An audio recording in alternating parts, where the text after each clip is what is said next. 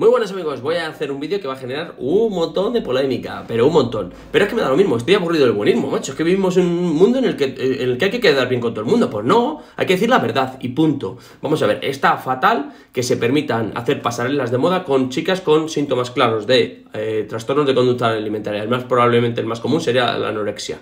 Está fatal. Y lo que no se puede permitir es que eso se haga. Pero lo que es de coña es que para compensar que eso se está haciendo y no, y no corregir el error es generar otro problema, que es hacer pasarelas con eh, personas con obesidad o sobrepeso. O sea, vamos a promover por un lado los trastornos de conducta alimentaria, no vamos a solucionar ese problema y lo que vamos a hacer es vamos a generar otro problema, porque ahora vamos a generar también que la gente vea como algo natural estar eh, con obesidad o con sobrepeso. O sea, hasta ahora estábamos promoviendo los trastornos de conducta alimentaria y ahora también vamos a promover la obesidad y el sobrepeso. Vamos a ver, una cosa es la belleza, que es algo totalmente subjetivo, y otra cosa es la salud.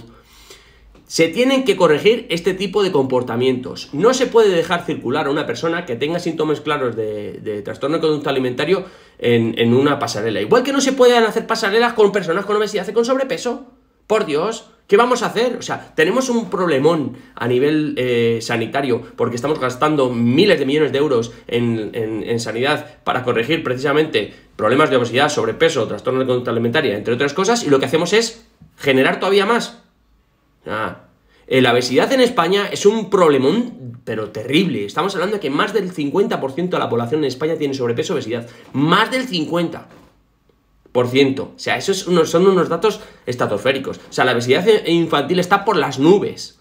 O sea, y cogemos y para compensar que, que hasta ahora se permite eh, hacer pasarelas de moda con chicas con extremada delgadez, vamos a, eh, en vez de arreglar ese problema, vamos a crear otro. Y vamos a crear pasarelas como, eh, promoviendo la obesidad y el sobrepeso. O sea, pero la gente, ¿en qué piensa?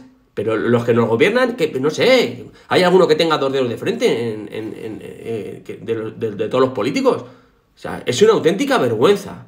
Yo siento, cuanto menos, vergüenza ajena de que compartamos eh, ser de la misma especie. O sea, promover patologías. ¿Hasta dónde vamos a llegar? Luego que la gente está enferma, pero ¿cómo no va a estar enferma? Vamos a ver, la mayor parte de la gente ni siquiera sabe que tiene obesidad o sobrepeso. Tener sobrepeso es tener un porcentaje de grasa más de un 25%, obesidad más de un 30% y obesidad mórbida más de un 40%. En algunas circunstancias de la obesidad mórbida, dependiendo de la edad, tu riesgo de muerte puede estar multiplicado hasta por 12.